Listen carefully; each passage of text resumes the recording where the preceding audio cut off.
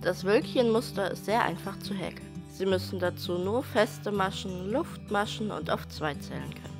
Das Muster eignet sich für Decken, Tischsets, Kulturbeutel, aber auch für Mützen und andere Accessoires.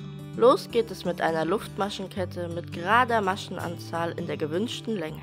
Wichtig ist, den Anschlag, also die erste Luftmaschenkette, sehr locker zu häkeln.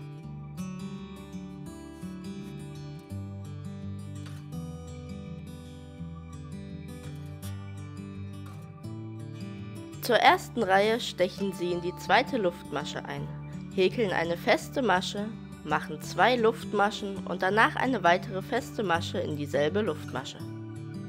Dabei entsteht ein kleines Maschenpäckchen aus einer festen Masche, einem Luftmaschenbogen aus zwei Luftmaschen und einer weiteren festen Masche.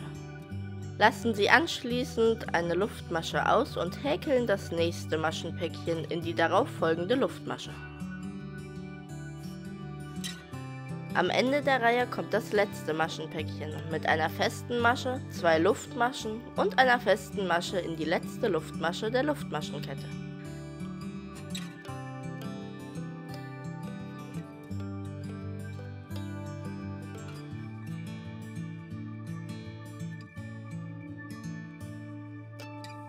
Danach häkeln Sie zwei Wendeluftmaschen und wenden die Arbeit.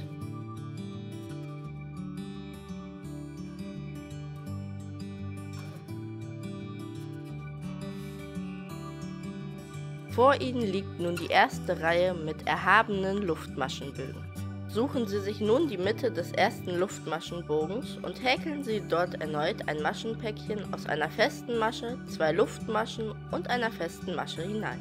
Das Muster wiederholt sich nun fortlaufend und besteht nur aus den beschriebenen Maschenpäckchen und den zwei Wendemaschen am Ende jeder Reihe.